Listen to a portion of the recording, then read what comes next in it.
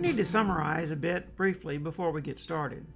In the previous Woe to You Religion videos, we heard an ancient writer's portrayal of Jesus' introduction to the problem of religion. The writer represents Jesus as saying religion has seated itself in the chair of Moses. In other words, religion calls upon tradition as its authority by placing itself on the throne of former religious leaders. And the writer goes on Religious leaders burden their followers and make no effort regarding the burden they themselves created. Everything religion does is to be noticed. Religion wants to be revered. Religious leaders wear elaborate clothing. They want to be put on display and honored. Likewise, religious leaders adopt lofty titles. The ancient writer has Jesus saying to religious leaders, Don't seek to exalt yourself. One is actually more respected when one is humble. Jesus' followers were reportedly known as people of the way.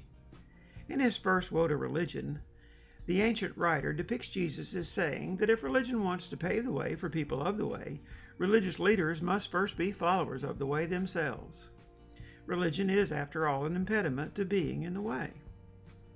Then the writer has Jesus giving an example of the kind of burden religion places on a follower's shoulder. He accuses religion of being callous he says religion would devour a widow's house while standing before her, making long, lofty, and public prayers. The ancient writer continues his portrayal of Jesus' contiguous line of thought by reflecting upon the religious process.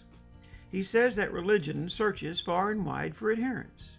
The more religion attracts, the more labor and financial resources religion has to devour. In the process, religion makes many people miserable.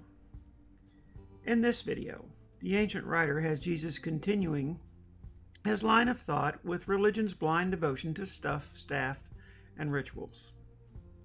Woe to you, blind guides, who say, Whoever swears by the temple, that is nothing. But whoever swears by the gold of the temple, that one is obligated. You fools and blind ones, which is more important, the gold or the temple that sanctifies the gold? And whoever swears by the altar, that is nothing, but whoever swears by the offering upon it, that one is obligated. You blind ones, which is more important, the offering or the altar that sanctifies the offering? Therefore, the one who swears by the altar swears both by the altar and everything on it. And the one who swears by the temple swears both by the temple and by the one who dwells within it. And the one who swears by heaven swears both by the throne of God and the one who sits upon it.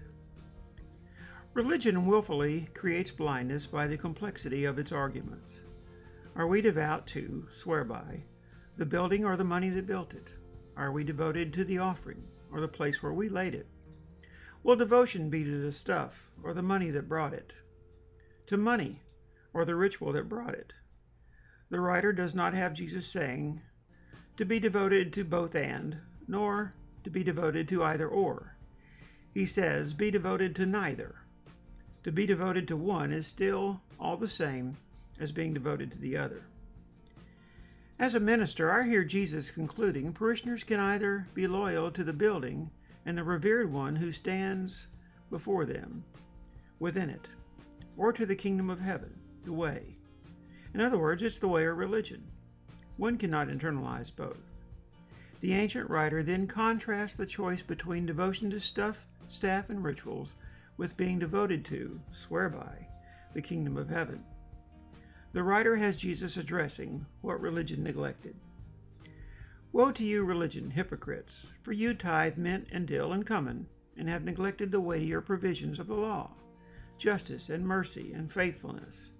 But these are the things you should have done without neglecting the others. You blind guides, who strain out a gnat and swallow a camel. The writer has Jesus addressing an ancient religious law of obligation to give 10% to religion. He contrasts the practice of religiously obeying the law and other provisions of the law with neglecting the genuine way. Again, the Jesus metaphor is simple. We swallow religion's glut of stuff, staff, and rituals while filtering out the way to be content in life. Why do we do that?